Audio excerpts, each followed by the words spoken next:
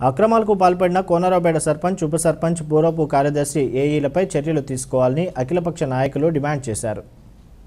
కోనరావుపేట మండలం గ్రామ పంచాయతీ సర్పంచ్ పోకల రేఖ ఉప సర్పంచ్ దండు శ్రీనివాస్ ఇదే గ్రామ పంచాయతీలో కార్యదర్శిగా విధులు నిర్వర్తించిన మహేందర్ పంచాయతీరాజ్ ఏఈగా విధులు నిర్వర్తించిన అసిస్టెంట్ ఇంజనీర్గా విధులు నిర్వర్తించిన అధికారి మీద చర్యలు తీసుకోవాలని అఖిలపక్ష నాయకులు డీసీసీ ఎస్ఎస్ఎల్ జిల్లా అధ్యక్షులు ఆకునూరి బాలరాజు మాజీ జడ్పీటీసీ గొట్టె రుక్మిణి తెలుగుదేశం పార్టీ జిల్లా నాయకుడు రిక్కి మల్లె మనోజ్ కుమార్ డిమాండ్ చేశారు. దళిత వార్డుల్లో అభివృద్ధి కొరకు ప్రభుత్వం నిధులు కేటాయిస్తుంటే అక్కడ డ్రైనేజీలు నిర్మించకుండా గ్రావెల్ పోయకున్నా పోసినట్లు ఎంబీ చేసి ప్రభుత్వాన్ని మోసం చేసి నిధులు డ్రా చేశారని ఎలాంటి అభివృద్ధి చేయకుండా స్థానిక సర్పంచ్ ఉప సర్పంచ్ పంచాయతీ కార్యదర్శి అప్పటి పంచాయతీరాజ్ జేఈ కుమ్మక్కై దాదాపు కోటి పదహారు లక్షలు కాజేసి ప్రజాధనం దుర్వినియోగం చేశారని వారు ఆరోపించారు.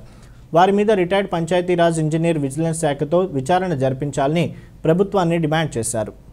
నేను చెప్తున్నా. వాళ్ళని ప్రశ్నిస్తున్న ఆ రోజు ఎంక్వైరీ రోజు కూడా నేను పూర్తి స్థాయిలో కూడా బయట పెడతా అని చెప్పి మిమ్మల్ని మీకు తెలియజేస్తున్నా. అదే అధికారులకు కూడా ఇక్కడైనా మారండి. అవినీతి పాల్పడకుండా అక్కడ జరిగే వర్క్ ఎంత అవుతుందో అంత వరకే డబ్బులు కేటాయించాలని చెప్పి మిమ్మల్ని కోరుతూ ఇక ముందు ఇటువంటి అవినీతి చేయొద్దని చెప్పి మిమ్మల్ని కోరడం జరుగుతుంది డిమాండ్ చేయడం జరుగుతుంది.